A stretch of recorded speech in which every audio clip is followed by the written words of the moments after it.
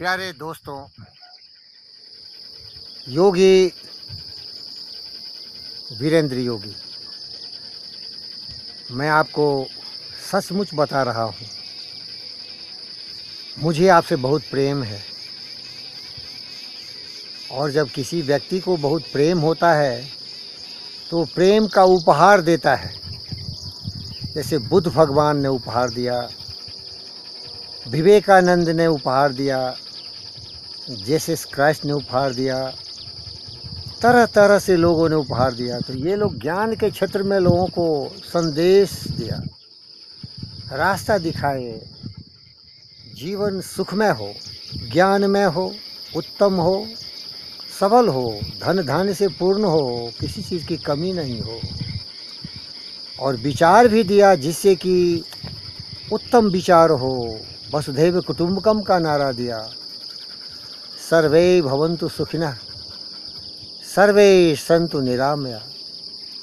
सर्वभद्राणी पश्यंतु माँ कश्य दुख भाग भवे प्रिय दोस्तों, मैं आपको जीवन में ऐसी कुछ अनुभूति पैदा करना चाहता हूँ, ऐसा ज्ञान की रोशनी पैदा करना चाहता हूँ, जिससे आप जन्म लिए और यात्रा जो जीवन का है, अंत तक आनंदमय जीवन हो। प्रिय दोस्तों यही हमारा लक्ष्य है, यही मेरी योग, यही मेरी साधना, यही मेरी तपस्या, यही मेरी शुभकामनाएँ है आपके लिए। तो आइए कुछ बात करें। प्रिय दोस्तों, हमारा भविष्य निर्भर करता है कि हम अपने जीवन को किस ढंग से जीते दिनकर जी ने कहा, उद्देश्य जन्म का नहीं, कीर्ति या धन है। सुख नहीं, धर्म भी नहीं, न तो दर्शन है। विज्ञान ज्ञान बल नहीं, न तो चिंतन है। जीवन का एकमात्र लक्ष्य केवल जीवन है। तो जीवन जो प्राप्त हुआ आपको, ये आपने प्रयत्न से प्राप्त नहीं किया। ये प्रकृति का एक नियम है, कानून कायदे हैं। पशु, पक्षी, जीव, जंतु सभी को यहाँ आना है और फिर वापस चला जाना है। लेकिन ये जीवन की यात्रा बड़ा दुर्घर्ष है, बड़ा संघर्षपूर्ण है, मुसीबतों का खजाना है। इसीलिए परम ज्ञानी बुद्ध भगवान ने कहा कि जीना है ना, वो दुख से भरा हुआ है। और दुख का कारण भी उन्होंने बता दिया कि मनुष्य जब जन्म लेता है तो इतना स्वार्थी हो जाता है। इतने जारी, इतनी सारी इच्छाएँ उसके जीवन में आ जाती हैं कि वो मृद मरीच का मैं भटकता भटकता अपने जीवन को सर्वनाश कर लेता है। क्योंकि उसको ज्ञान की दीप्ति नहीं है उसके जीवन में। वो अज्ञानी है। तो प्रिय दोस्तों, मैं आपको ये बताना चाहता हूँ कि आपको जीवन की कला मैं सिखाऊँगा। और मैंने सीखा है इन महर्षियों से, मुनियों से, ज्ञानियों से। जीवन जीना है तो उसके लिए तीन वास्तविक चीज़ चाहिए आपको। रोटी कपड़ा और मकान की समस्या। इसके लिए आप तैयार हो जाइए। आप अपने जीवन में एक लक्ष्य रखिए जिससे कि इन सारी आवश्यकताओं की पूर्ति करें। इसीलिए आप कोई व्यवसाय करिए, टीचिंग प्रोफेशन में जाइए, इंजीनियरिंग प्रोफेशन में जाइए, जो भी कुछ करना है इससे आपको ये तीनों जो भौतिक आवश्यकताएँ हैं, पूर्ति हो जाएगी। मन से करिए। मन से करिए, पूरी शक्ति ला के करिए। नहीं तो रोटी, कपड़ा, मकान पर्याप्त मात्रा में आपको उपलब्ध नहीं होगा। इसीलिए हमारे जो छात्र छात्राएँ हैं, मेहनत से पढ़ें। पढ़ें, पढ़ लिख के ज्ञान प्राप्त करें, कुशल कारीगर बने, जिससे कि आप अपने जीवन की ये जो अब बेसिक मूलभूत आवश्यकता है, उसकी पूर्ति कर सकें। अगर काम चोरी करेंगे उल्टा पुल्टा काम करेंगे तो माँ बाप के बदौलत बहुत दिन जी नहीं पाओगे यार। माता पिता चले जाएँगे, आप दुखी हो जाएँगे। इसीलिए बिल्कुल सतर्कता से बिल्कुल ज्ञान से अपने जीवन को उजागर करो और इन तीनों मूलभूत आवश्यकता की पूर्ति करो। और इसकी कोई सीमा नहीं है, संतोष होना चाहिए। रोटी कपड़ा मकान मिल गया तो बहुत की आवश्यकता मत करो। गोजन, गजन, बाजधन औरत धन, खान, जो पाए संतोष, धन, सब धर, धूर समान। इसीलिए बहुत की आवश्यकता नहीं है। साई इतना दीजिए, जामे कुटुम्ब समाए। मैं भी भूखा न रहूँ, साधु भी न भूखा जाए। संतोषम परमम सुखम। संतुष्टि के साथ उपलब्धि करो और आनंद में रहो। समझ रहे हैं मेरे भाई? ये तो हो गया कि आप ज़िंदा रहोगे, भूखे नहीं मरोगे, नंगे नहीं घूमोगे और बेघर जंगलों में भटकोगे नहीं। लेकिन इससे सुख शांति नहीं मिलती है। सुख शांति का जो द्वार है ना, वो ज्ञान है। आपकी मस्तिष्क की शक्ति की कोई सीमा नहीं है। आप जो भी चाहोगे, इस भूमंडल पर प्राप्ति कर सकते हो। इसीलिए एक संस्कृत का श्लोक सुनिए। काव्य शास्त्र विनोदनो कालो गसति धीमताम वैष्णन चो मूर्खा नाम निंद्रा कलहनवा। मीन्स जो ज्ञानी महापुरुष होते हैं, हमेशा काव्य शास्त्र की अध्ययन करते हैं। काव्य शास्त्र मीन्स ज्ञान के समुद्र में गोते लगाते हैं और मोतियाँ चूनते हैं। और उनको मालूम है किधर जाना है, किधर नहीं जाना है। वही धर्म है। धर्म सिखाता है कि जिस रास्ते चलोगे जहाँ सुख शांति आपको मिले और दूसरों को मिले। काव्य शास्त्र विनोदनो कालो गस्ती धीमताम। धीमताम का मतलब ज्ञानी महापुरुष, आप जैसे महापुरुष।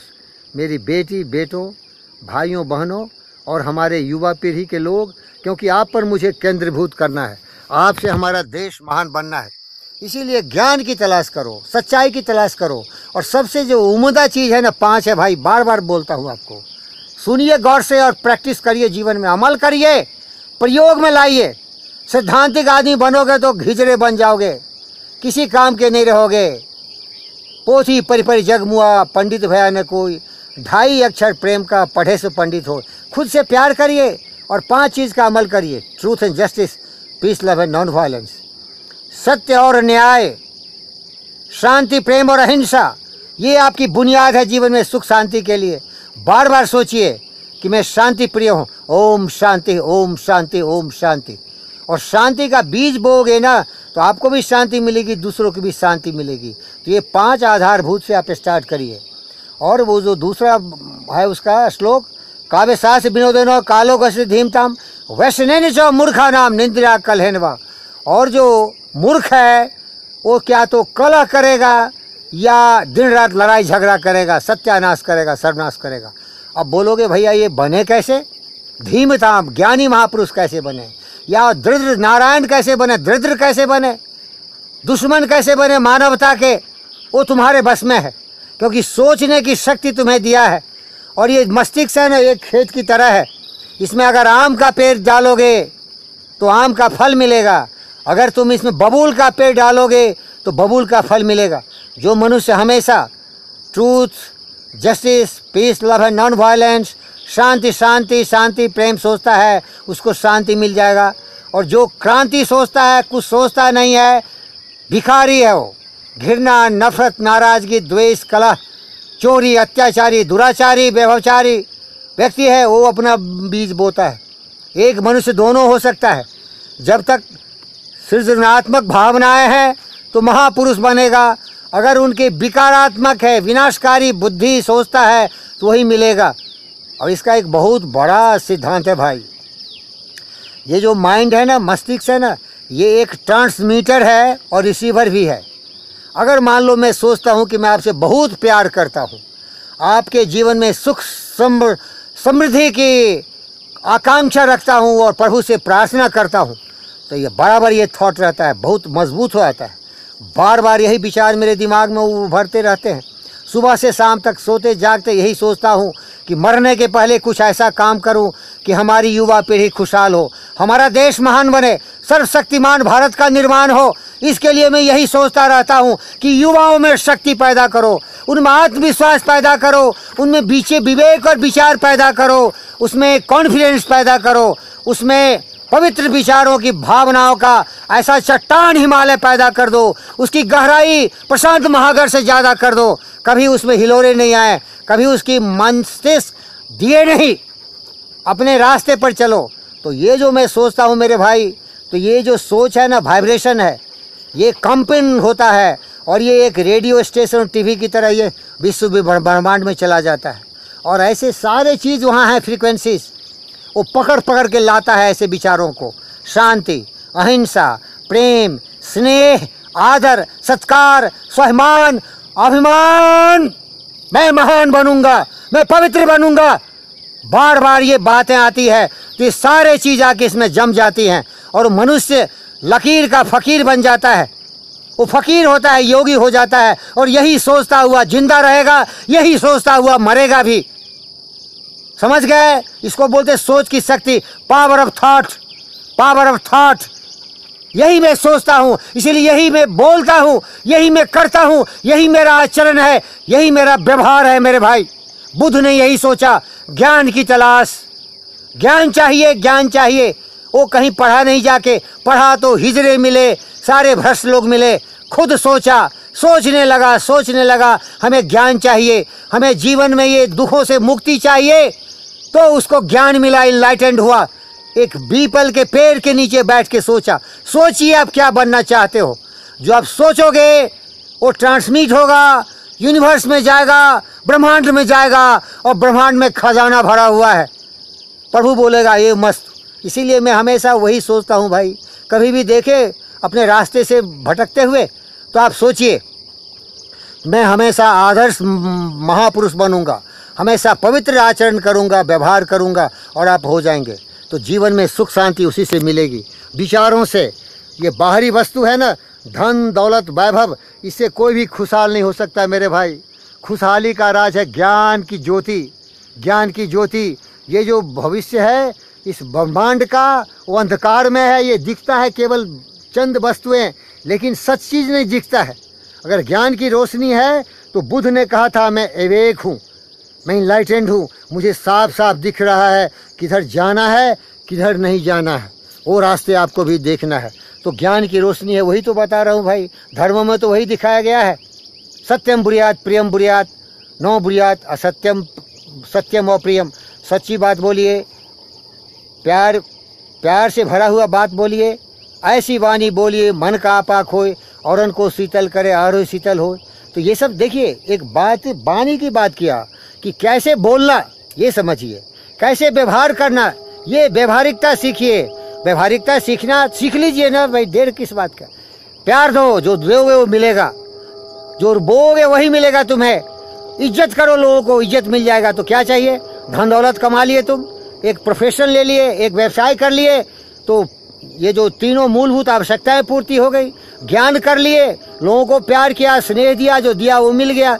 शांति मिल गया, शांति शांति, सबों के लिए सोचे तो शांति भी मिल गया। तो दिन रात काम करो ना, इसको बढ़ाते जाओ बढ़ाते जाओ। धन, दौलत, वैभव, शरीर से स्वस्थ समूह को बढ़ाते जाओ, बढ़ोतरी करो। लेकिन केवल पॉजिटिव पॉजिटिव सकारात्मक निगेटिव में मत जाओ भाई। दिमाग में अगर तुम फिर पलट दोगे यू टर्न ले लोगे तो निगेटिव आएगा तो दरिद्र नारायण दरिद्र भी बन जाओगे, दरिद्र बन जाओगे। दरिद्र और महान में थोड़ा ही फ़र्क है भाई, सोच का फ़र्क है। इसीलिए गांधी ने कहा था कि हमको जो नफरत करना है ना, वो निगेटिव विचारों को करना है भाई, कोई मनुष्य नफरत के लायक नहीं है। उसका सोच सही है तो अच्छे रास्ते जाएगा, सोच बिगड़ गया तो राम रावण बन जाएगा, रावण राम बन जाएगा। सोचना शुरू करो। और जब सोचते हैं ना वही सच हो जाता है। इसीलिए हमारे गुरुजी नेपोलियन हिल ने कहा truly thoughts are things and powerful things truly thoughts are things and powerful things जो सोच है ना, वो शब्दों में अभिव्यक्त होता है। जो शब्द से हम बार बार बोलते हैं, उसी का हम आचरण करते हैं, वही हमारी आदत पड़ जाती है, हैबिट हो जाती है। और जो हैबिट होती है ना, उसी से हमारा भविष्य का निर्माण होता है।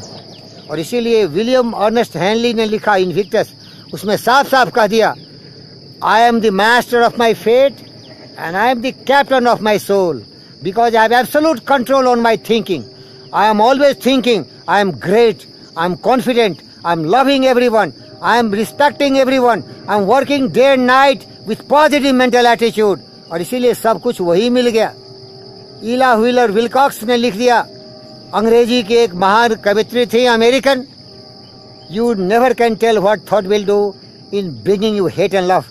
For thoughts are things and airy wings are swifter than carrier dove. They spread over the universe to bring you back whatever went up your mind. कहने का मतलब है कि जो भी आप कुछ सोचते हो ना, वो हवा में चली जाती है, ब्रह्मांड में, और वो अपने रिश्तेदारों को उसी तरह की भावनाओं, विचारों को पकड़ पकड़ के, पकड़ पकड़ के यहाँ डाल देता है तो जो सोचते हो ना, वो वस्तु बन जाती है, भौतिक वस्तु बन जाती है मैं सोचता हूँ, शरीर से स्वस्थ पत्थर सी हो मांसपेशियाँ लोहे से भू देखो यार, पत्थर सी हो मांसपेशियाँ लोहे से भूदंड है।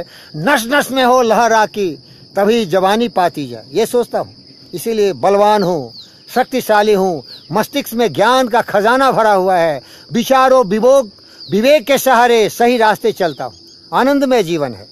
और इसीलिए इस आनंद को मैं इस तरह से प्रभाव पर प्रसारित करना चाहता हूँ कि आपके जीवन में भी ये प्रभावित हो के अंकुरित हो जाए और आपका जीवन ही मंगलमय हो जाए, मेरे प्यारे दोस्त।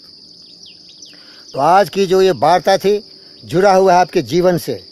जीवन सुख में होगा ज्ञान में होगा, उत्तम होगा, सुख संपदाओं का खजाना होगा, जब आप अपने विचारों पर अंकुरित करेंगे, अंकुशित करेंगे। अच्छे विचार अंकुरित करिए और उस पर अंकुश लगाइए। कभी भी अपने पस्त से डिगे मत, कभी भी डिगिए मत। जो लोभ है क्रोध है